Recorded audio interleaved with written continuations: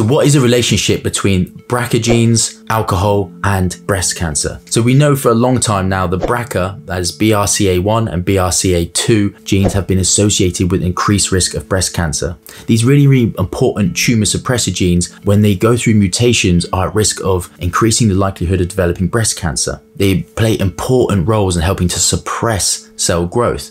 However, we know that women who drink alcohol, particularly two or more servings a day, are at a far greater risk of developing breast cancer. We know that alcohol actually encourages cell proliferation in both estrogen and non-estrogen receptor breast cancer tumors. The alcohol was broken down into something called acetaldehyde, and this is an important metabolite that actually increases oxidative stress, increases inflammation. However, what this also has the effect of is decreasing levels of BRCA2. This means that carriers of the BRCA2 mutation might be increasingly susceptible to the cancer-causing effects of alcohol.